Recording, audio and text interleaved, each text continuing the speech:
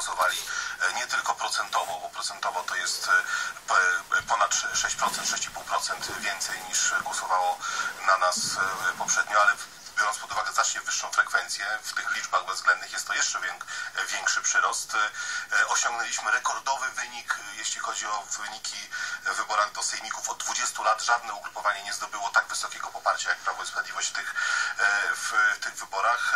Koalicja Obywatelska utrzymała, można powiedzieć, w tym procentowym wymiarze swoje poparcie sprzed, sprzed czterech lat i to zjednoczenie tutaj opozycji, jak widać, niewiele dało. Wszyscy inni wypadli bardzo źle, po prostu stracili, więc zwycięzca jest jeden, można powiedzieć, niezależnie od tego, że w Warszawie rzeczywiście e, tutaj spektakularny sukces e, kandydata e, Koalicji Obywatelskiej, czy w jeszcze kilku dużych miastach, nie zmienia tego wydźwięku, tego, tych faktów, o których mówiłem. No Polska to nie są duże miasta, czy nie są tylko duże miasta. Duże miasta to jest zaledwie 15% ludzi, którzy w tych miastach mieszkają. 85% mieszka w tej Polsce bardziej lokalnej e, i w tej Polsce lokalnej, no tym, tym zwycięzcą jest zdecydowanie bezapelacyjnie Prawo i Sprawiedliwość. A zanim zapytam pana ministra Rabieja o te refleksje powyborcze, to pan wspomniał, że takim powietrzem wolności oddycha się w dużych miastach, to pan pochodzi z Puław. Chciałam zapytać, czy pan już rodzinę ściągnął, żeby się nie udusiła w Puławach do, do tego miasta wolności, tego powietrza. A druga sprawa, że właściwie większość mówi o tym, że się dusi smogiem, a to w Krakowie, tam gdzie, gdzie jest pan Majchrowski, a to w Łodzi, gdzie jest pani Zdanowska, to w Warszawie, gdzie była pani Kamila Bronkiewicz-Walc, także z państwem związana. To, to jak to jest z tym powietrzem Że, że, wolności? rzeczywiście duże miasta mają problem ze smogiem, ale mają je też mniejsze miejscowości, bo on jest pochodną palenia śmieci. Ale dlaczego pan tak powiedział? Bo tak pan E, zaczyna dzielić Polaków teraz na tych, którzy mają jakieś powietrze wo- wolności. Nie wiem, czy respiratory mają wszyscy inni kupować? Nie, nie, Nie wola, która zapadła Właśnie, na nie dłużej to jest do niewoli dojdziemy, zapóźnionych Mówiłem to w takim ciekawym kontekście. Ja w ogóle może zacznę też rzeczywiście od tego, że podjąłbym się skonstruowania jednak takiego podestu, na którym zmieszczą się wszyscy zwycięzcy, dlatego że wybory samorządowe mają to do siebie, że one rzeczywiście są w kilku kategoriach. I faktycznie e, sukces partii rządzącej w wyborach sejmikowych jest ewidentny, nie przekreślamy go, gratulujemy. Patrzymy na to, doceniamy, analizujemy, jak wyciągnąć z tego wnioski, żeby wygrać w wyborach parlamentarnych jako koalicja. Bezwzględnie sukces koalicji w dużych miastach, za chwilę powiem dlaczego, bo, ale on jest duży. Rzeczywiście w dużych miastach wygrali kandydaci Koalicji No Obywatelskiej. nie mówmy bo jeszcze przed nami Kraków i Gdańsk, prawda? Jestem przekonany, że wygrają tam kandydaci kan- Koalicji Obywatelskiej, dlatego że miasta są otwarte, są różnorodne, są tolerancyjne i właśnie oddychają tym To znaczy, powietrzem Prawo i wolności, o jest którym, o e, wspominałem. porażki, tym tak? powietrzem wolności, dlatego że kiedyś w Polsce feudalnej mówiło się, że i bardzo za tym chłopi pańszczyźniani tęsknili, że właśnie w miastach e, jest to powietrze, które czyni wolnym. Więc w tym sensie użyłem tego absolutnie Mhm. niesmogowym. Więc e, zdecydowanie, Nie, ja też nie zdecydowane smogu zwycięstwo e, koalicji interpretując pańską wypowiedź. Duże zwycięstwo nowoczesnej. Tutaj dużo osób mówi, że nowoczesna jest przystawką i tak dalej, i tak dalej, ale wewnątrz Koalicji Obywatelskiej osiągnęliśmy bardzo dobry rezultat. Będziemy współrządzić A to w takim razie zapytam, to albo państwo byliście radnych. Tacy mocni z panem Rafałem Trzaskowskim i tacy dobrzy, przekonywujący, albo Patryk Jaki był tak słaby. To jaka jest pańska opinia? I tak, i tak. To znaczy ja uważam, że zaproponowaliśmy warszawiakom to, czego Warszawa potrzebuje i byliśmy bardziej przekonujący, dlatego że Warszawa rzeczywiście jest miastem europejskim, otwartym, tolerancyjnym i ktoś, kto jest zaprzeczeniem tych wartości, partia, która jest zaprzeczeniem tych wartości, nie mogła tu wygrać. Ja to mówiłem od początku. Ale partia rządząca bardzo pomogła Patrykowi Jakiemu przegrać. Myśmy od początku traktowali go poważnie jako, jako groźnego kontrkandydata. To nie jest tylko kwestia błędów, które popełnił na końcu, ale to, co mówił pan premier, to szantażowanie mieszkańców Warszawy, że nie będzie pieniędzy rządowych, jak, jak wygra kontrkandydat e, Patryka Jakiego, no to jakoś myślę, że osłabiło jednak w efekcie wynik.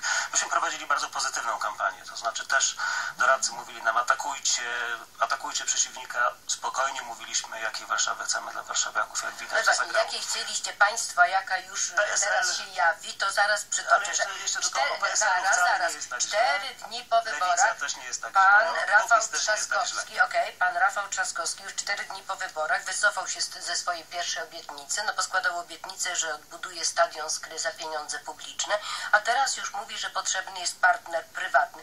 No to co to było? Wyborczy kit, kłamstwo czy manipulacja? Ja Co pamiętam, w, w Skrze zawsze mówiliśmy o tym, że to będzie współfinansowane z pieniędzy prywatnych. O, Na wszystkich spotkaniach tak było. Na spotkaniach, Pamiętam, ale w wypowiedziach publicznych, no nie, może na zamkniętych publicznych, tak, spotkaniach. tak. Znaczy generalnie to nie ma tu żadnej niekonsekwencji. Skrę trzeba odbudować, natomiast czy z pieniędzy wyłącznie miejskiej, czy również z e, finansowania e, prywatnego, dlaczego nie, skoro są takie możliwości? Mamy PPP, mamy inne możliwości. Ważne jest to, żeby po prostu Skra wróciła na mapę sportową Warszawy. To zapytam jeszcze pana doktora Rzymkowskiego, posła Kukiz 15, bo w tych wyborach państwo też mówicie, no zaskakująco o takiej wprowadziliście taką narrację zwycięzcy też, no nie potwierdzają tego chyba żadne dane, no ale dobre samopoczucie zawsze temu służy, no co nie zmienia faktu, że w całym kraju e, e, no słabo panie pośle. Tak, to prawda. Znaczy, ja nie słyszę głosów jakichś triumfu i zwycięstwa, ale na pewno też nie ma porażki. E, Jeśli e, popatrzymy na te siły i możliwości, które przedstawiliśmy, no wystawiliśmy dosyć mało tych kandydatów w porównaniu do Koalicji Obywatelskiej czy Prawa i Sprawiedliwości, bo raptem 5200 kandydatów. Prawo i Sprawiedliwość nie wiem ile w skali kraju, około pewnie 40 tysięcy. Około ponad 30 tysięcy. No, ponad 30 tysięcy, Koalicja Obywatelska też ponad 20 tysięcy. E, Polskie Stronnictwo Ludowe też na pewno bardzo dużo i mogę sobie rękę uciąć, że powyżej 20 tysięcy skali kraju. Ten wynik ogólnopolski, no to jest suma tak naprawdę wystawionych kandydatów od tego poziomu najniższego rad gmin poprzez rady powiatów, a skończywszy na, na sejmiku. Ale to, ten to, to wynik. chyba takie spektakularne zwycięstwo to tylko pan poseł Wojciech Bakun, tak? To rzeczywiście jest spektakularne zwycięstwo w bastionie turze Prawa i Sprawiedliwości właśnie 42% w pierwszej turze. No będzie E, do, to, jest, to jest na pewno bardzo dobry wynik. Natomiast e, pragnę zwrócić uwagę na, na to. Wystawiliśmy dosyć mało kandydatów. To są najtrudniejsze wybory. Podejrzewam, jak wszyscy tu siedzimy, to możemy powiedzieć, że to są najtrudniejsze wybory. Trudno też oszacować, e, kto jest zwycięzcą, kto jest przegranym. No rzeczywiście, jeśli ktoś traci wpływy, tak jak Polskie Stronnictwo Ludowe, no to może mówić o, o stracie i o, o porażce. Na pewno Prawo i Sprawiedliwość te wybory wygrało, patrząc na wyniki z 2014 roku w stosunku do, do tamtych wyborów. Stan posiadania jest no, niebotycznie większy i, i to jest też e, w kwestii e, tej porażki PSL-u bardzo widoczne. No, czy przepływ prawie 107 czy 108 powiatów z rąk PSL-u w ręce Prawa i Sprawiedliwości, no to jest gigantyczny sukces właśnie kosztem Polskiego Stronnictwa Ludowego. Zwycięstwo i zwiększenie stanu posiadania w największych miastach e, przez Platformę i Nowoczesną to też jest na pewno sukces. My nie dysponowaliśmy żadnymi radnymi, bo powstaliśmy w 2015 roku, a wybory były w 2014 poprzednie. No i też niejasne tak- były i zachowania tak lidera państwa partii, Z pewnością. państwa e, ugrupowania. No bo albo był pan Jakubiak e, kandydatem rzeczywiście Kukiz 15 na prezydenta Warszawy, albo nie, no bo No Paweł Kukiz mówił, że jego sympatia jest po stronie jednego kandydata. właśnie innego kandydata. Niż kandydat no, jego ugrupowania. to- no właśnie. Natomiast i tak Markowi Jakubiakowi udało się przeskoczyć moim zdaniem y, osobę, która była faworytem trzeciego miejsca, czyli pana Rozenka. Mi się wydało, że ten taki beton postkomunistyczny pójdzie i zagłosuje na niego, a jednak to się nie stało. Jednak Głosował na Rafała Trzaskowskiego. Właśnie, jednak y, pan Rozenek, były parlamentarzysta, taka twarz takiej twardej, twardej lewicy. I, no też no, wicenaczelny przegrał. nie, tak? No. Bo to też częściowo twarz Urbana.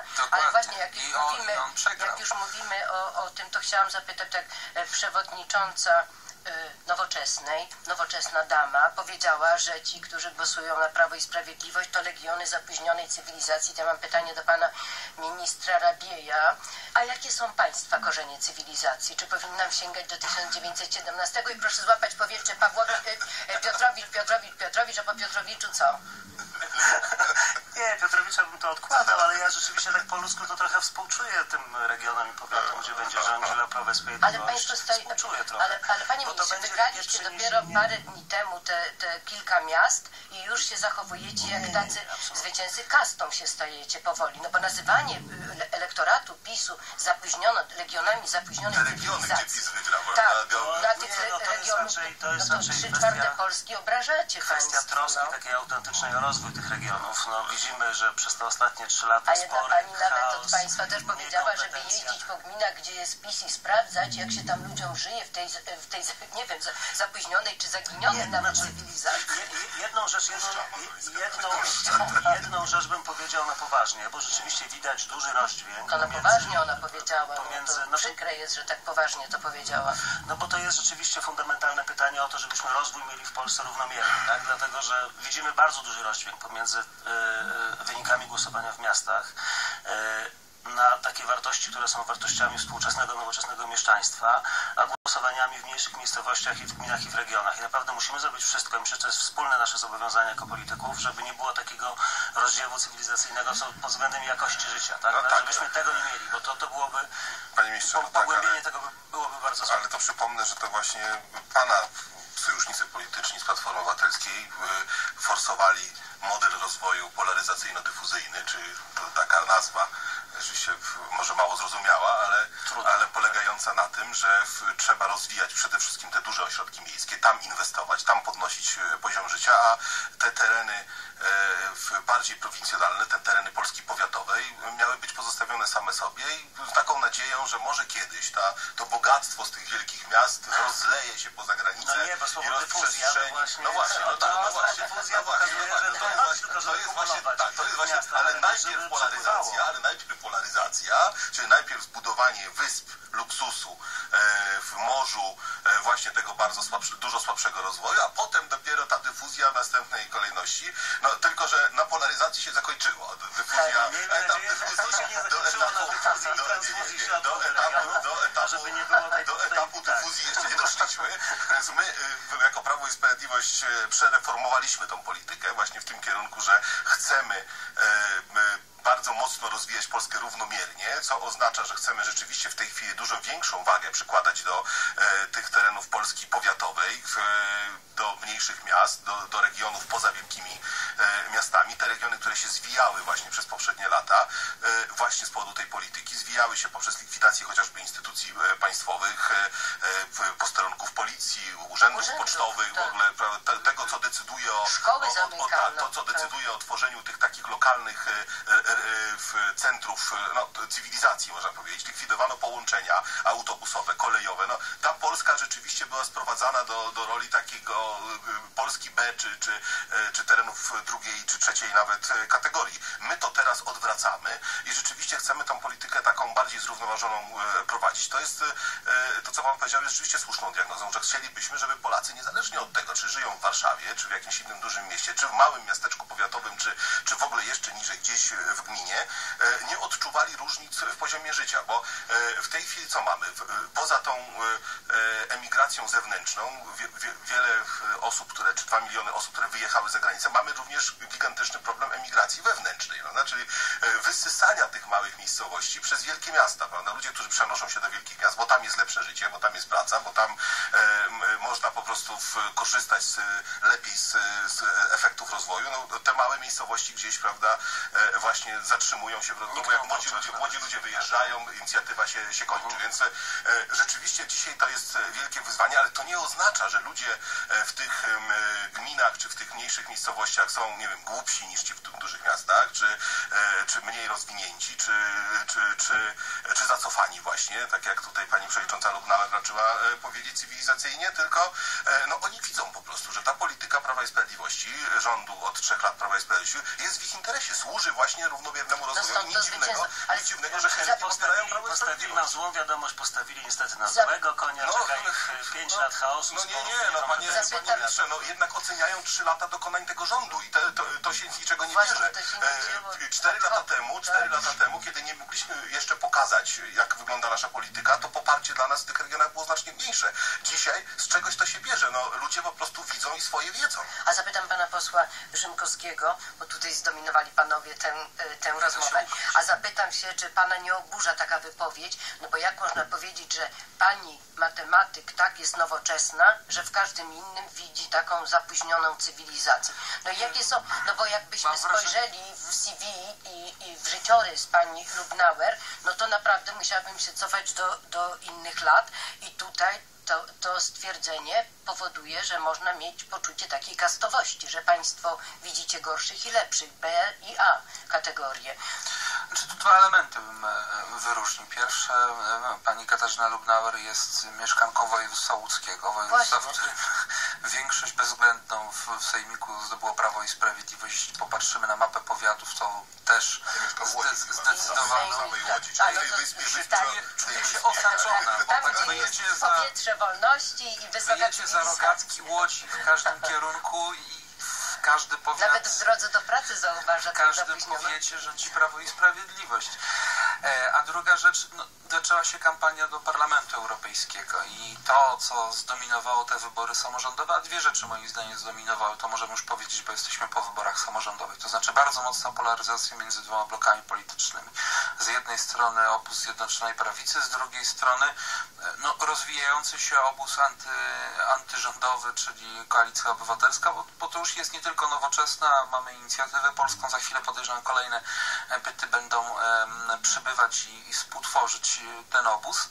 Ale Nas- bez i ten proces trwa. na haśle, że Tak. idziemy, tak, Tak, ale ten obóz, PiS. ten obóz y, y, się rozwija, obóz Prawa i Sprawiedliwości również następuje polaryzacja sceny politycznej i te wszystkie mniejsze byty, w tym no, mój, który reprezentuje, czyli Kukiz 15, ale Polskie Stronnictwo Ludowe, no, największa ofiara e, tych wyborów samorządowych i tej polaryzacji, e, czy, czy Sojusz Lewicy Demokratycznej, który też swoją drogą sporo stracił i też jest na, na marginesie e, życia politycznego. Pamiętaj, no, my jesteśmy zupełnie innej sytuacji, mówię my, czyli Kukiz 15. My nie dysponowaliśmy żadnym samorządowcem, jednak kilkaset tych radnych w skali kraju e, zdobyliśmy. Natomiast PSL, który no, był potęgą, największą potęgą samorządową, tym bardziej w poprzednich wyborach samorządowych, zanotował rekordowy wynik. E, Sojusz Lewicy Demokratycznej, No, ale gdzie, też trzeba pamiętać, jaka była wysoka bastiony. e, kwota tych, e, tak, Prawda. 17 zdaje się procent było głosów nieważnych. nieważnych. No te cuda w województwie mazowieckim, to wystarczy popatrzeć na procenty głosów ważnych i nieważnych. I druga rzecz, dosyć duży rozdźwięk, ja nie jestem socjologiem, więc tutaj trochę po amatorsku podchodzę, ale jest rozdźwięk między Polską metropolitalną, czyli tych dużych ośrodków miejskich i Polską prowincjonalną, czyli tych właśnie ta, tą Polską lokalną, jak pan minister określił. No jest ten rozdźwięk, jest ta różnica, zupełnie inna wrażliwość, inne e, podejście, ale też inna sytuacja. To znaczy jednak w tej Polsce prowincjonalnej, e, której ja jestem reprezentantem, no to tym dominującym elementem siły politycznej było, było Polskie Stronnictwo Ludowe. I Polskie Stronnictwo Ludowe straciło. Panowie, to zatrzymajmy się jeszcze na moment przy tych e, właśnie wyborach samorządowych. Do, dopytam pana posła Rzymkowskiego, który kończył tę pierwszą część naszej audycji, czy, czy w, w miastach takich jak Radom, Gdańsk, Kraków, e, czy pan trzyma kciuki za e, zwycięstwo kandydatów Prawa i Sprawiedliwości, czy pan to zostawia od tak losowi? Bo, bo wspomniał pan już kiedyś, że w drugiej turze będzie pan popierał panią Małgorzatę Wasserman w jej walce o zwycięstwo. Oczywiście, że trzymam kciuki za, za koleżankę z komisji śledczej. E, Uważam, że Kraków zasługuje na, na zmianę. Przy czym no, mój klub, e, czy, czy mój e, cały ruch e, Kukiz 15 no, wypowiedział się, że w drugiej turze nie będzie nikogo w sposób oficjalny afiliował. Natomiast no, wierzę w mądrość mieszkańców Krakowa. Dużych strat nie będzie, jak nie będzie Dokładnie, dokładnie. Aczkolwiek osobiście bardzo kibicuję w Krakowie Małgorzacie Wasserman i, i wierzę, że 4 listopada to ona wygra wybory. A zwycięzca tych wyborów warszawskich, pan minister Rabi, co by doradzał tym wszystkim, którzy w drugiej turze teraz występują i walczą o te y, miasta, walczą o stanowiska prezydentów tych miast? E, No, spokój i cierpliwość. Na pewno będzie dobry wynik. E, Kibicuję i panu profesorowi Majchrowskiemu w Krakowie i e, kandydatowi popieranemu przez Koalicję Obywatelską w Gdańsku. E, to wstyd dopiero. tak, tak, tak, zdecydowanie.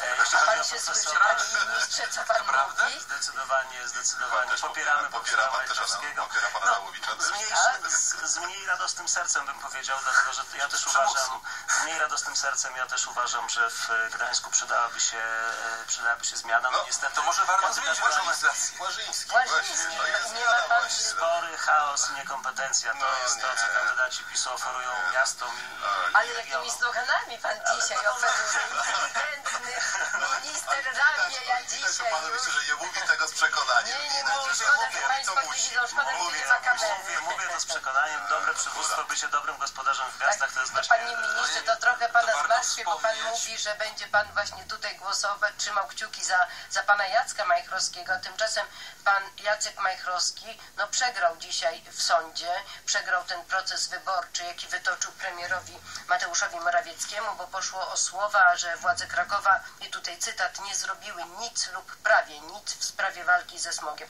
Krakowski sąd oddalił wniosek strony prezydenckiej, która domagała się sprostowania w ogólnopolskich mediach. Sąd uznał, że wypowiedź pojawiła się w trakcie kampanii wyborczej, miała charakter opinii, komentarza, nie faktu. Tutaj doktor Rzymkowski, prawnik, zgadza się z tą opinią. Tak, to znaczy ja, ja w ogóle taką swoją własną analizę e, w tej sytuacji, czyli wykorzystywania artykułu 111 kodeksu wyborczego, czyli e, procesu w trybie wyborczym mogę przedstawić. Dla mnie to jest taki wyraz słabości i bezsilności tych osób, które korzystają z tego instrumentu. Sam e, e, byłem stroną takiego postępowania, dwukrotnie nawet, podczas mijającej kampanii wyborczej, mimo że nie byłem ani kandydatem, ani członkiem komitetu wyborczego.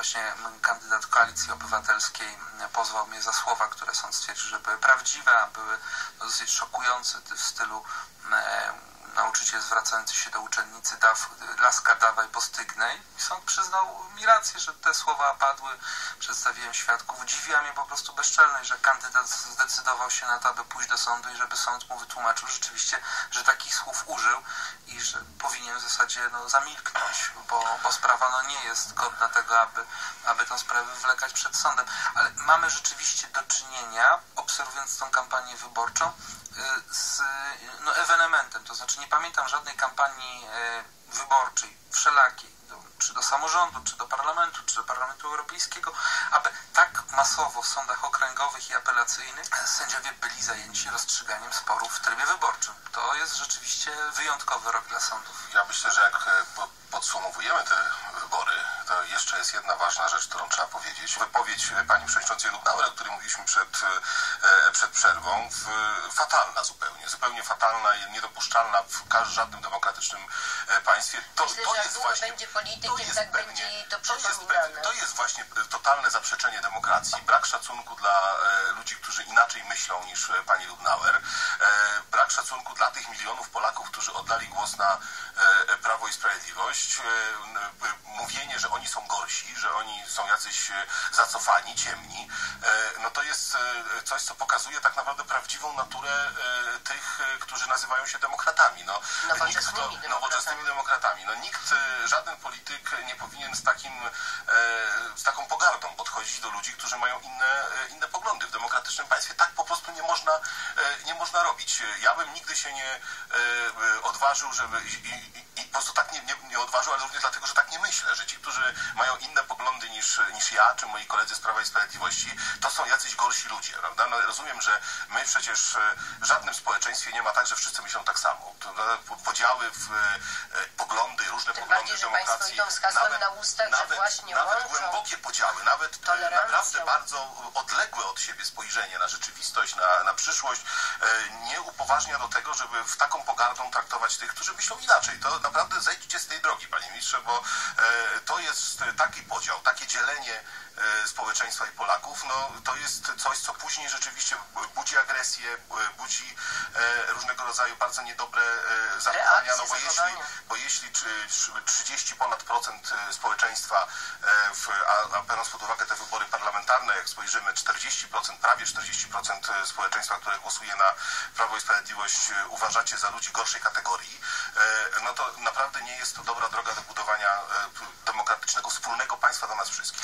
Mnie się nawet ta tyrada pana ministra bardzo podobała, muszę powiedzieć. Tylko chciałbym zaapelować... Zastosujcie w życiu w takim razie. Bardzo dziękuję, tylko chciałbym zaapelować o to, żeby pan minister i koledzy pana partyjni również zastosowali to w życiu, dlatego że w ciągu ostatnich trzech lat mieliśmy niestety mnóstwo wypowiedzi dzielących Polaków na gorszych i lepszych, również w tej kampanii wyborczej.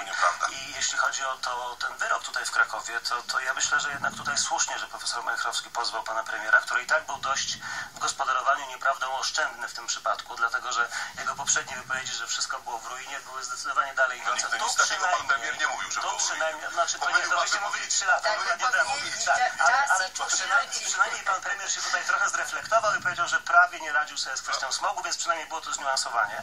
Natomiast ja jednak bym miał takie oczekiwanie, żeby w kampanii wyborczej jakoś trzymać się prawdy i nie, nie, nie posługiwać się takimi, takimi e, też e, przekreślającymi dorobek e, poprzedników politycznych sformułowaniami, bo to też nie służy budowaniu takiego, takiego poczucia, że jednak wszyscy pracujemy dla dobra wspólnego w kraju. No ale kampania wyborcza służy też temu, żeby pokazywać, e, co, ja- co, co konkurenci No tak, ale Ale z pani nic nie zrobiliście. No, No, ale no, pani no, minister- albo sąd Polska jest w potwierdził- ruinie. ale sąd potwierdził, że nie była to nieprawda. Nie, sąd więc, powiedział, no, że można to powiedzieć w no, kampanii dokładnie, wyborczej że można, opinię. można mieć taką jest opinię, prawda? można mieć taką opinię i taką No ocenę. przekonamy się przy urnach, że Krako mieszkańcy Krakowa będą mieli odrębne zdanie. Zobaczymy. Ja myślę, że- ja myślę, że pan profesor Majkrowski, który właściwie wypowiada się w ten sposób, jakby robił łaskę e, kandyduje, bo ja kilka takich wypowiedzi publicznych pana prezydenta, e, tego zresztą szanuję, ale e, e, myślę, że już tak długo jest prezydentem rzeczywiście, że e, dla nowej pewnej energii, dla e, nowej inicjatywy potrzebna jest zmiana, bo jeśli ktoś No i dlatego cieszę się z e, dwukadencyjności pomysłu o, nowoczesnej, Właśnie, no więc jednak- teraz mam nadzieję, mam nadzieję, że e, mieszkańcy e, e. Krakowa czy Gdańska e, skorzystają również z tej e, okazji w tej chwili, która przed nimi stoi i dokonają wymiany e, tych samorządowców, którzy no, bardzo długo już rządzą i myślę, że nie rokują już na to, żeby jeszcze cokolwiek e, z Ale takiego akurat sprawa pozytywnego Gdańska dla Pana powinna być. A ja sprawą myślę tak- bo myślę, że jednak tak Państwo wystawiliście swojego innego kandydata, uważając, że Pan Adamowicz właściwie już powinien odejść, a dzisiaj to albo powinniście Państwo przemilczeć, a już na pewno nie popierać kogoś, o kim mówiliście, że nie powinien już Nie no, sprawować no, tego urzędu. Oczywiście mieliśmy No własnego to kandydata. Powinno Pana to krępować, da, dalsze Nie, poparcie. Nie, nie, nie. Ja patrzę na to zupełnie racjonalnie, też e, do, dobrym A, interesem chyba, że mieszkańców tak. Gdańska. Chyba, Dobrym tak. interesem mieszkańców Gdańska. Oczywiście lepiej by było, gdyby do drugiej tury wszedł Jarosław Wałęsa i gdyby Koalicja Obywatelska tam wygrała. No tak się nie stało, ale tak jak mówię, spory chaos i niekompetencja to nie jest żadne Ale, ale, ale, ale, dlaczego pan e, Zakład- takiej dlaczego oceny, tak zakładam, nie, dlaczego tak pan, pan- pan dokonuje Płażyński takiej będzie- oceny, dlaczego dla tej, takiej oceny pan dokonuje Tak e. Kaspra Płażyńskiego, w, który e, naprawdę już mimo młodego wieku jest już doświadczonym samorządowcem, bo przecież to nie jest jego debiut w samorządzie, był już radnym rad, e, miasta Gdańska. Widać, że W dodatku w- 9800 głosów dostał do, tak, do Rady Widać, Miasta, widać najwięcej spośród po tym wszystkich. wyniku w pierwszej turze, bardzo dobrym, no, ponad, Tak. grubo ponad Tak. 30%, Tak. pokazał, że zdobył sobie szacunek bardzo wielu mieszkańców, mieszkańców Gdańska, który przecież powiedzmy sobie wyraźnie, no, podobnie jak Warszawa, nie jest tym e, miejscem w Polsce, gdzie e, kandydaci Prawa i Sprawiedliwości mają jakoś szczególnie łatwo. Prawda? No, tam mówiliśmy to tutaj, mówiliśmy, mówiliśmy tu o dużych miastach, o jako o tych, e, jak to było z tym powietrzem, tak? Powietrzem e, Wolności. Tak, powietrzem Wolności. no to Też szanowni Państwo, słuchajcie, szanowni Państwo, co mówi e, Paweł Rabie i ci wszyscy Państwo, szanowni, którzy nie mieszkacie w dużych miastach, że rzeczywiście Wy jesteście Nie, to ja własne życzenie nie, proszę nie przekręcać moich słów. Chodzi o to, że jednak miasto, znaczy naprawdę. No naprawdę, właśnie naprawdę, więc jakby nie dzielmy na tych miastach jest. dla lepszych i tych gorszych na prowincji, e, czy na Polsce prowincjonalnej, czy, czy lokalnej. E, Natomiast e, to też tak jest, że miasta, nie tylko w Polsce, no to nie jest polska specyfika. No Jak popatrzymy na miasta europejskie, duże miasta w Europie, to one są dużo bardziej lewicowe i dużo bardziej liberalne Tak. niż, niż te, te lokalne społeczności. No w tych mniejszych miastach często jest też bardziej ocena już nie, nie sił politycznych, tylko tylko bardziej, bardziej e, konkretnych ludzi. Natomiast e, wrócę jeszcze do tego, do tego Gdańska, bo to była dygresja mówiąca, że Gdańsk nie jest e, e, takim miejscem, gdzie Prawo i Sprawiedliwość jakoś jest szczególnie głaskane przez wyborców, prawda, czy jego kandydaci. A pomimo to Kacper Płażyński znakomity wynik i dzisiaj mierzy się w drugiej turze, a mało kto mu dawał szansę na to, że w ogóle do tej drugiej tury wejdzie, mierzy się w drugiej turze z prezydentem urzędującym, no i co tu dużo mówić, skompromitowanym, prawda, z licznymi zarzutami na, na karku. I ja myślę, że dzisiaj mówienie, że lepszym prezydentem będzie Adamowicz, ten skompromitowany Adamowicz, który rzeczywiście, e, mówi który, który rzeczywiście ma dużo, dużo różnych zarzutów już e, postawionych i, i który widać wyraźnie, że już nie ma kompletnie żadnego pomysłu e, na Gdańsk i że i właściwie to jest tylko pomysł na to, jak jeszcze tutaj ratować swoje biznesy. Kasper Płażyński dzisiaj jest nadzieją dla Gdańska po prostu. Tak, daje jest szansę, na, inaczej, jest- daje jest, szansę na, tak, na, nowy, na nowy Ja impuls przeciwko rozwoju. niemu osobiście nic nie mam. Bardziej niepokoi mnie to, że reprezentuje partię rządzącą z do ale PiSu. Ale z z to na dwoma rękoma. wiesz myślę, że, że to pokazuje w tych wyborach, on jest nową twarzą dla Gdańska ewidentnie, ale myślę, że to pokazuje w tych wyborach, że jednak e, tutaj przesądzające jest to, czy głosujemy mimo wszystko za jakąś zmianą w tych miastach, bo w każdym mieście potrzebna jest i kontynuacja i zmiana, i mądra kontynuacja tego, co jest dobre i mądra zmiana.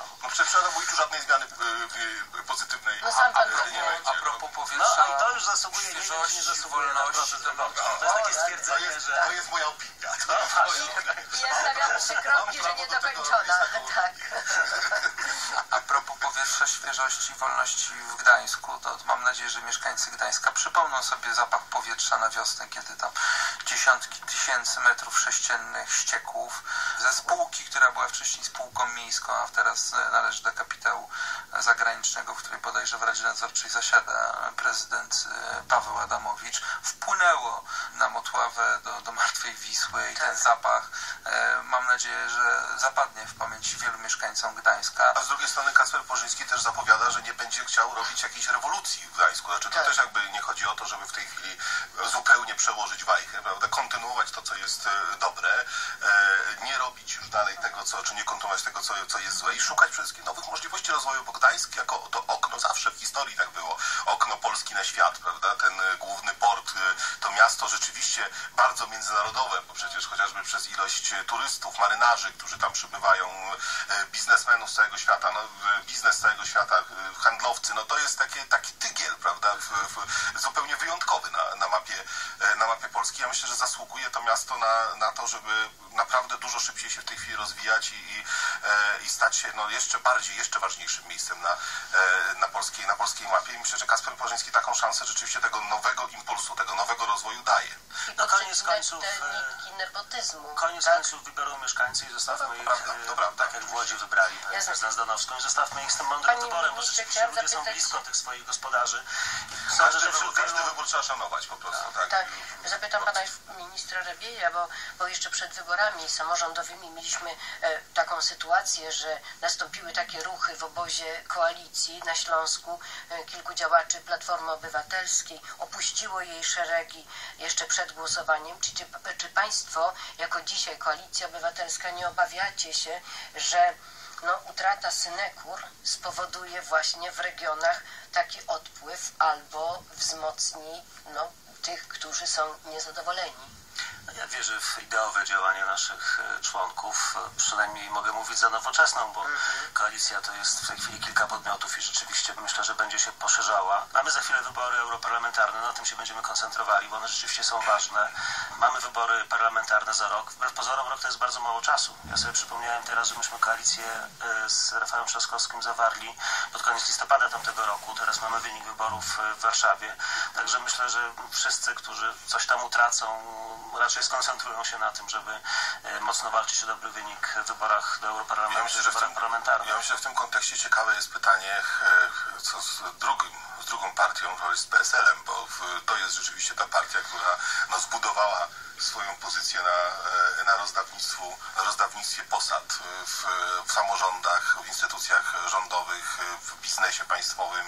Rzeczywiście ta pajęczyna PSL-owska była w, roz, taka bardzo mocno utkana na dużej części Polski i dzisiaj w, ta pajęczyna została e, głosami wyborców, decyzją wyborców, którzy no chyba mieli ale w pajęczynie to jest to ważne, że jak dosyć. pęknie jedna E, nitka, No to właśnie, się to, już i, zaczyna to, sypać. I to się wszystko rozsypało i teraz jestem ciekaw e, bardzo, jak będą wyglądały e, te wewnętrzne relacje e, w e, PSL-u, e, bo myślę, że e, no dzisiaj bardzo wielu, e, bardzo wielu działaczom PSL-owskim, którzy często od kilkudziesięciu lat e, zasiadali e, w, i, korzystali z tych państwowych synekur, świat się e, zawalił, zawalił i e, pytanie jest przed nimi, e, co dalej. To będę naprawdę obserwował z dużym za- Ale ja, ja zainteresowaniem. myślałem, że padnie deklaracja, że Nowogrodzka ich przytuli.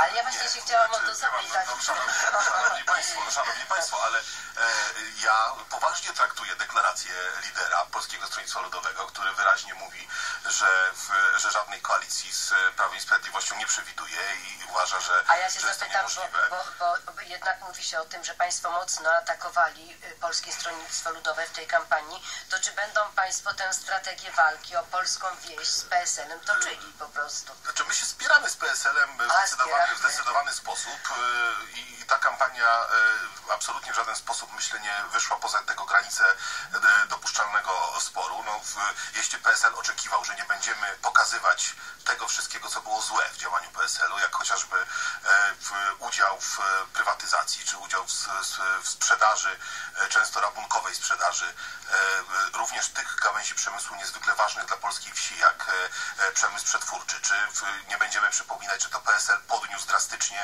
e, wiek emerytalny dla, dla rolników, kobiet, o, dla kobiet o 12 lat, dla mężczyzn o, Tak, przegrali o, o 7 nie? przegrali I proces w tej, dzisiaj tej przegrali, również. tak, proces PSL i, z- z Prawem i Sprawiedliwością I stąd wiemy zresztą z ujawnionych w tej kampanii obficie taśm by- byli, że tak powiem, chwaleni przez swoich ówczesnych, Kosiniak-Kamysz sam był chwalony przez swoich koalicjantów z PO, że tą najgorszą robotę przy podniesieniu wieku emerytalnego to on właśnie wykonał. A ja chciałam zapytać pana ministra Sasina, jaki pan miał wynik, kiedy pan startował na prezydenta Warszawy, bo pan Patryk Jaki powiedział, że przebił pański wynik nawet w drugiej turze e, wyborów pańskich, a także Ryszard Czarnecki to potwierdził. Więc ja już teraz nie wiem, czy pan miał rzeczywiście 42% w drugiej turze z Hanną Gronkiewicz-Waltz, czy ja się mylę? To jak, e, czy panowie tak powiedzieli, to ja już nie pamiętam.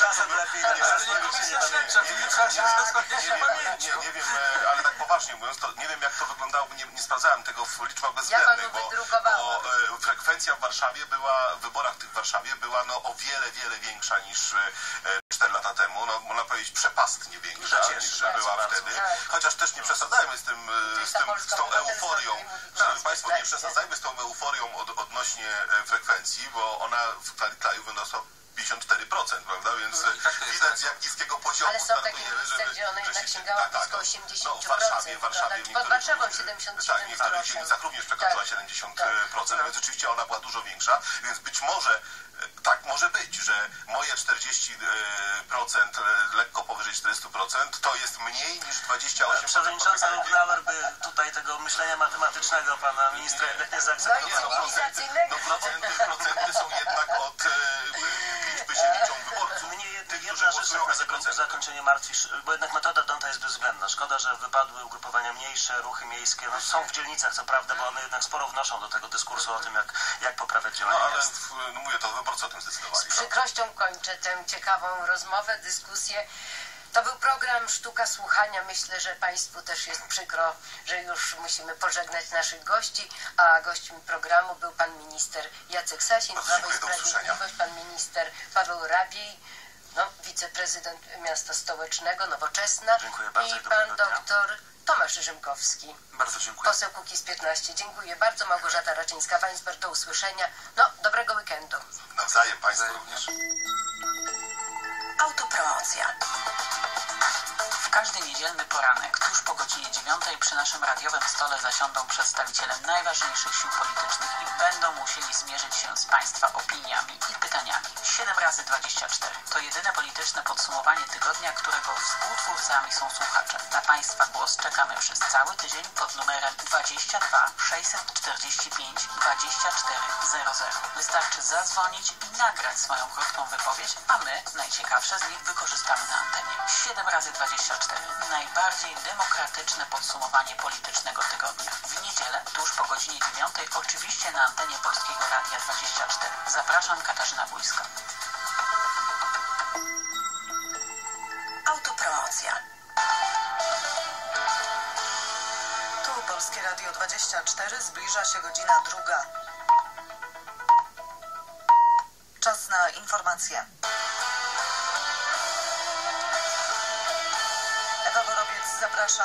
Prezes Prawa i Sprawiedliwości Jarosław Kaczyński powiedział podczas spotkania z mieszkańcami Przemyśla, że w Polsce potrzebna jest władza, która potrafi wykorzystywać ogromne możliwości naszego kraju. Jarosław Kaczyński podkreślał, że obecny rząd osiągnął sukces w wielu dziedzinach. Wszędzie idziemy do przodu. Wszędzie jesteśmy silniejsi, bezpieczniejsi niż było to dotychczas. I tak powinno być, ale na to potrzebne są decyzje obywateli. Na to jest potrzebna racjonalna władza. Władza, która nie krzyczy, nie odwołuje się do jakichś emocji, w szczególności emocji negatywnych, która potrafi budować, potrafi współdziałać, potrafi prowadzić do tego, że te wielkie możliwości, które dzisiaj mamy, będą wykorzystywane. Jarosław Kaczyński mówił, że dziś to Prawo i Sprawiedliwość jest jedynym gwarantem polityki zrównoważonego rozwoju. Prezes PiS wsparł kandydaturę Janusza Hamryszczaka na stanowisko prezydenta Przemyśla. Druga tura wyborów samorządowych odbędzie się 4 listopada. Kilkadziesiąt osób manifestowało poparcie dla pracowników LOT podczas pikiety solidarnościowej zorganizowanej przez OPZZ przed siedzibą spółki. Wczoraj po ponad siedmiu godzinach negocjacji z zarządem związkowcy z lotu zawiesili strajk do poniedziałku do godziny 14. Po wstępnych negocjacjach ustalono, że do pracy mają zostać przywróceni szefowa Związku Zawodowego Personelu Pokładowego i Lotniczego Monika Żelazik, szef Związku Zawodowego Pilotów w LOT Adam Rzeszot oraz pozostałe 66 osób, które wcześniej zostały zwolnione w trybie dyscyplinarnym. Adam Rzeszot powiedział, że ma nadzieję na pokojowe rozwiązanie sporu. Jest to początek naszej drogi do unormowania sytuacji w polskich liniach lotniczych, do wprowadzenia normalności. Oczywiście strajk jest zawieszony, ale to nie znaczy, że chcemy w ten sposób pracodawcę szantażować. Nie. Naprawdę jesteśmy nastawieni na pokojowe rozwiązanie tego problemu, zakończenie i zamknięcie tych czarnych dni w historii polskich linii lotniczych. Lot, oby się one już więcej nie powtórzyły. Rzecznik prasowy lotu Adrian Kubicki poinformował, że zwolnieni w trybie dyscyplinarnym pracownicy mogą wrócić do pracy w dowolnym momencie. Zarząd lotu i związkowcy wrócą do rozmów w poniedziałek o 8 w siedzibie PLL Lot. Amerykańska policja podała oficjalny bilans strzelaniny w synagodze na przedmieściach Pittsburgha. W tamtejszej synagodze zginęło 11 osób, a 6 zostało rannych. Sprawca, który również odniósł obrażenia, został aresztowany.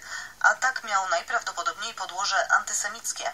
Prezydent Donald Trump określił atak mianem niewyobrażalnej tragedii i wezwał Amerykanów do jedności. Z Waszyngtonu Marek Wałkuski. Tuż przed dziesiątą rano czasu lokalnego napastnik wszedł do synagogi Tree of Life. Odbywały się tam równocześnie trzy nabożeństwa, w tym chrzciny. Według świadków sprawca krzyknął Wszyscy Żydzi muszą zginąć, po czym otworzył ogień. Miał ze sobą karabin półautomatyczny oraz trzy pistolety. Gdy na miejsce przybyła policja, doszło do wymiany ognia. Trafiony kilkoma kulami, sprawca został obezwładniony i zabrany do szpitala. Działania podjęte przez niego wynikały z nienawiści. Podczas śledztwa przyjrzymy się wszystkim aspektom jego życia, zapewnił kierujący śledztwem agent FBI Bob Jones. Sprawcą ataku jest 46-letni Robert Powers. Nie był znany policji, ale był aktywny w mediach społecznościowych, gdzie często wyrażał poglądy antysemickie. Tuż przed atakiem zamieścił wpis krytykujący żydowską organizację Hayas, która zajmuje się pomocą uchodźcom. Sercem jestem ze społecznością żydowską. Nie ma miejsca na antysemityzm w naszym stanie. Każdy atak na jedną grupę religijną jest atakiem na wszystkie społeczności religijne Pensylwanii, mówił gubernator Pensylwanii Tom Wolf.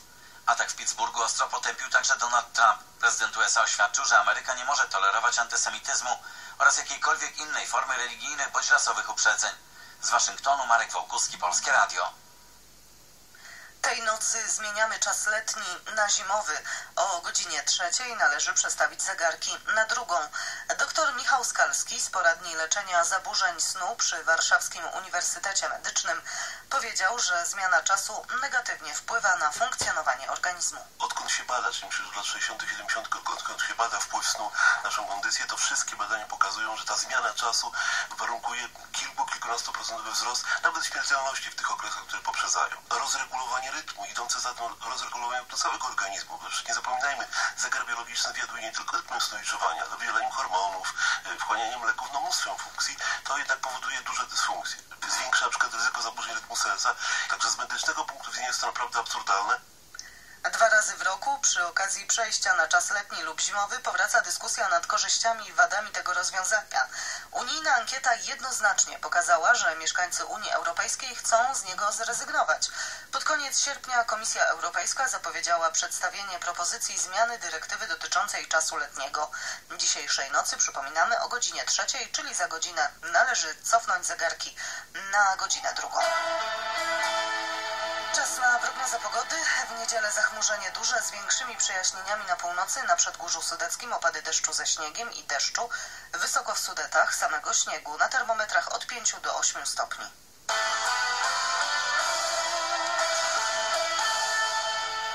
Radio 24. Słowem wszystko. 6 minut po godzinie drugiej. Powtórka programu.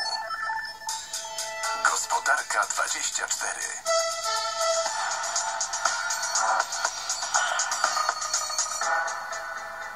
Sylwia Zadrożna, zapraszam na podsumowanie wydarzeń gospodarczych mijającego tygodnia. W naszym studiu goście Artur Bartoszewicz ze Szkoły Głównej Handlowej, Dzień dobry, witam serdecznie. Andrzej Halesiak, dyrektor w Biurze Analiz Makroekonomicznych w Banku PKO SA Dzień dobry. i Marek Kłoczko, wiceprezes Krajowej Izby Gospodarczej. Dzień dobry. Dzień dobry, witam panów.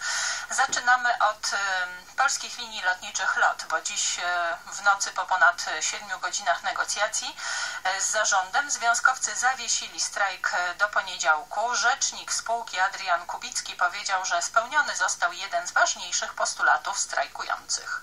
Pracownicy mogą wrócić do swojej pracy. Strajk został zawieszony, a więc mamy pewną podstawową płaszczyznę do tego, aby kontynuować rozmowę. Pani Monika Żelazik wraca do firmy. 67 osób e, zwolnionych w miniony poniedziałek wraca do pracy. Operacje wracają powoli do swojego normalnego trybu. A o powrocie do rozmów na początku przyszłego tygodnia poinformował z kolei mecenas Piotr Wujec, główny negocjator strony związkowej. W celu kontynuowania negocjacji strony spotkają się rano w poniedziałek 29 października 2018 roku o godzinie 8.00 w siedzibie Pellot SA. Na chwilę obecną mamy deklarację Pellot, za co chcę bardzo podziękować, o powrocie pracowników zwolnionych z tytułu strajku do pracy. Tak jak słyszeliśmy, są pewne ustępstwa. W poniedziałek e, mają być e, negocjowane pozostałe postulaty strajkujących pracowników polskich linii lotniczych LOT. E, Ja tak myślę, że chciałoby się powiedzieć, szkoda, że tak długo to trwało, bo strajk oznacza i po pierwsze straty finansowe dla spółki, a dodatkowo też straty wizerunkowe. Jak panowie oceniają to, co się dzieje teraz w polskich liniach lotniczych LOT? Marek Kłoczko? Ja po pierwsze cieszę się, że jest jakiś sygnał, który pokazuje, że ten konflikt można zakończyć. Oczywiście można, e, to jeszcze nie jest koniec. E, Po drugie, no ja całą tę sprawę znam z enuncjacji prasowych, mass mediów, więc e, a w takich przypadkach, kiedy są konflikty tak ostre, to bardzo często decydują niuanse, urażone ambicje, ktoś komuś zrobił krzywdę wcześniej, teraz trzeba odreagować i tak dalej, i tak dalej. I to są takie te przyczyny subiektywne i je bardzo trudno jest pokonać i faktycznie tak bez zawodowych mediatorów to jest jeszcze trudniej. Dobrze, że są mediatorzy po obu stronach w tej chwili i najważniejsze według mnie, żeby jakby wnioski z tego strajku były takie, aby w przyszłości, kiedy dochodzić będzie do konfliktów, to je w porę rozwiązywać, a nie doprowadzać do eskalacji, ponieważ wiemy, że po pierwsze rynek lotniczy bardzo dynamicznie rośnie, e, po drugie, że zasila się konkurencja między przewoźnikami, znane były w ostatnich przypadkach i fuzje, przejęcia i bankructwa y, linii lotniczych. Y, Sytuacja strajkowa była w wielu firmach i bywa jeszcze, powiedzmy sobie, nie chcę wymieniać tutaj nazw, ale to są zarówno tanie linie, jak i światowi y, potentaci, a w dodatku jeszcze prognozy mówią o dynamicznym wzroście tego rynku i o rosnącym braku wykwalifikowanych pilotów, stewardess, personelu naziemnego. W związku z tym faktycznie mogą pojawić się pokusy po stronie załogi czy po stronie pracowników, żeby dyskontować dobre wyniki, jeżeli będą y, po, polepszając swoje warunki zatrudnienia. Z drugiej strony y, zarządy y, spółek lotniczych będą pod stałą presją ogromnej walki konkurencyjnej. No i myślę, że to też była taka główna przyczyna tutaj, prawda? Zeszły rok niezły finansowo, wcześniej były ustępstwa załogi. Część że nareszcie czas może odzyskać. Y, Zarząd jest pod presją konkurencji i ambitnych planów swoich zresztą, które y, mi się osobiście y, podobają, więc myślę, że gdyby udało się faktycznie zażegnać ten strajk w tej chwili i wyciągnąć lekcje, żeby unikać przyszłości, no to może nawet ta wysoka cena, bo to była wysoka cena, także czy jest wysoka cena tego strajku i wizerunkowa, i, i, i finansowa, to może nawet by wyszło na dobre. Andrzej Halesiak?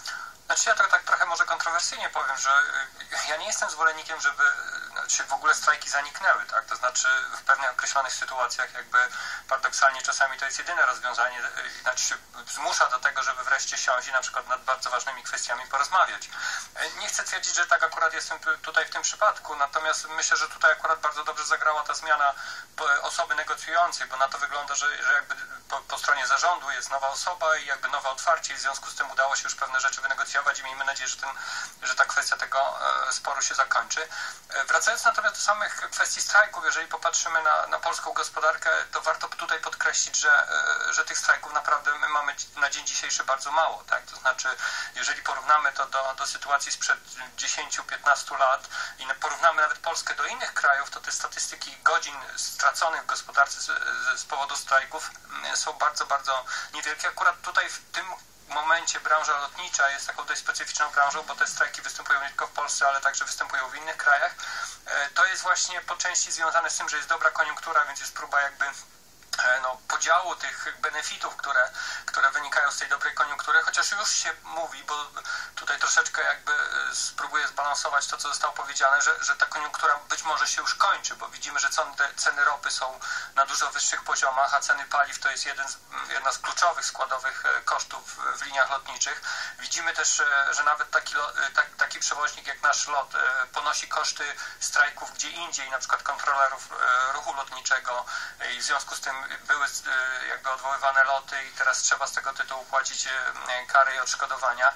E, rosną koszty generalnie wynagrodzenia, pewnie te też jakby w, tutaj u nas w naszych liniach lotniczych to się pokazuje, więc jakby ta, ta, ta presja e, no, jest po obu stronach. Z jednej strony rzeczywiście jest chęć e, tego, żeby pracownicy w większym stopniu korzystali z, z dobrej koniunktury wyrażającej się w rosnących przewozach i w rosnącej ilości operacji lotniczych, no z drugiej, z drugiej strony jest ta rzeczywistość, którą, o której czasami się mniej mówi, ale która też e, rzeczywiście determinuje sytuację linii lotniczych. Plus jeszcze na to wszystko nakłada się rzeczywiście bardzo ambitny plan rozwoju, no bo to jest zawsze kwestia wyboru, czy konsumujemy kupujemy czy inwestujemy i tutaj nigdy nie ma łatwych wyborów. E, z drugiej strony, jeżeli popatrzę na, jakby na argumenty e, pracowników, no to pamiętajmy, że oni zgodzili się bodajże w 2013 roku na zawieszenie układu zbiorowego, na jakby no to była ich forma partycypacji w tej restrukturyzacji firmy i to było zawieszenie, to znaczy te, te warunki miały być przywrócone, więc e, no właśnie, pozostaje to negocjować. To będzie przedmiotem negocjacji tak, dalszych. pozostaje negocjować i miejmy nadzieję, że po prostu uda się osiągnąć porozumienie, bo rzeczywiście no akurat w przypadku linii lotniczych jest tu bardzo drażliwy, drażliwa kwestia wizerunkowa i tej niepewności.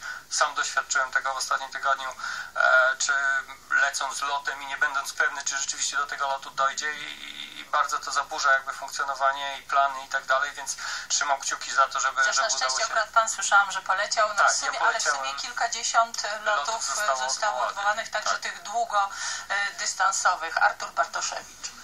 E, tego typu wydarzenie e, może w dłuższej perspektywie e, bez względu na wynik bardzo negatywnie wpływać na tego przewoźnika, dlatego że niepewność lotu i możliwości dotarcia determinuje decyzję klienta. I nawet w rozmowach takich codziennych no, ludzie się uskarżają na to, że nie ma pewności co do możliwości skorzystania z tego, z tego dostawcy usług, a konkurencja jest i tutaj zagrożenie jest bardzo istotne, jeżeli nie dojdzie do zrównoważenia, ale ta konkurencja jest zarówno w wymiarze dostaw, czyli klienci mają wybór, a po drugie sytuacja na rynku pracy wyraźnie wskazuje na to, że braki kadrowe specjalistów będą się na, będą narastać, więc bardzo ryzykowne są decyzje w stylu zrzut zwolnię 60 osób wyspecjalizowanych w danej dziedzinie branży, bo ich zastąpienie i zrównoważenie potrzeb firmy będzie bardzo, czy byłoby bardzo trudne. To, co mi, to, co mi mnie niepokoi w tym strajku, to to, że prezes i zarząd wyraźnie wykazuje sygnał o tym, że nie mają cech menedżerskich, dlatego że menadżer to nie jest osoba tylko i wyłącznie skupiona na aspekcie finansowym czy rzeczowym albo formalno-prawnym, ale również ludzkim. Są cztery zasoby, na które, na które należy pracować, które należy łączyć i które umie, należy umieć inwestować. Sytuacja na rynku pracy jest tak radykalnie zmieniona, że oczywiście pięć lat temu można było powiedzieć, że pracodawca mógł w jakiś sposób dyktować, czy próbować dyktować warunki i wymuszać na pracownikach. Dzisiaj ta sytuacja, o której powiedzieliśmy, jest zupełnie inna i albo menadżer zrozumie ten mechanizm, albo będzie zachowując się tak jakby nic się nie stało w przestrzeni i rynki się nie zmieniły, wymuszać na, na pracownikach określone zachowania. Wydaje się, że dwie strony e, troszeczkę jakby nie do końca, znaczy szczególnie tak jak mówię, ja uważam, że mm, dla mnie na tym głównym jednak obciążającym to, te, te zdarzenie jest zarząd. Nawet jeżeli ma świetne idee, idee, i ma kierunki działania, to musi rozumieć, że bez zasobów, a szczególnie zasobu ludzkiego, tak wrażliwego w, w, tej, w tym sektorze, bezpiecznie nie przeprowadzi tego typu działań. E, I, e, a to może się wiąże z tym, że pochodzenie tego, tej kadry kierowniczej jest jednak z sektora finansowego. Oni pierwotnie funkcjonowali na tym sektorze i w okresach, w których e, przede wszystkim teraz z koleją był związany. bardzo poś- znaczy w- pośrednio, ale to też w zupełnie w innym okresie. I e, jeszcze raz powtórzę, znaczy nie, nierozumienie e, zmiany warunków, e, w, których się funkcjonuje w biznesie, doprowadza do kary. I dla mnie fikcyjne i takie bardzo nieprzyjemne były e, takie w ogóle absurdalne zachowania dwa, czyli po pierwsze taka reakcja na klękającą e, szefową związku, e, prezes też klęka. Znaczy no, jakieś dziwne zachowania, które, które widać, że oni nie mają w jakiś sposób koordynacji. Też sporo emocji jest No emocje, ale, ale, ale, ale, ale to, to, to nie można doprowadzać do takich emocji. Znaczy nie można doprowadzać do tego, że 9 dni ludzie stoją na, e, na deszczu, czy też w zimnie, bo reakcja powinna być prosta. Postaw namioty, daj jedzenie i nawet jeżeli ludzie mają inny punkt widzenia, komunikuj się z nimi. Nie zapraszaj ich do, przy, do pomieszczenia, które jest zamknięte. Przecież też była taka sytuacja, że prezes zaprasza do pomieszczenia, którego sam nie jest w stanie otworzyć. Znaczy to widać wyraźnie, że i czym innym są emocje, a czym innym jest brak przygotowania do podstawowych e, ruchów, które się wykonuje wobec e, ludzi, którzy w emocjach są. To nie prezes jest w emocjach, tylko ci ludzie są w emocjach, a prezes, jeżeli ma emocje, to niech zrezygnuje e, w tym momencie, bo on nie może wyrażać emocji negatywnych wobec ludzi, których ma zachęcać jako lider, jeżeli jest liderem, do określonego działania w określonym kierunku. Dlatego uważam, że mm, to oczywiście się skończy jakimś tam procesem wynegocjowania wyniku, ale e, nie wróżę przyszłości zarządowi w tym składzie, bo to będzie bardzo trudne do utrzymania, nawet jeżeli idee są piękne, a musiała aż dojść do wydelegowania z Rady Nadzorczej członka Rady Nadzorczej do zarządu, żeby podjął negocjacje.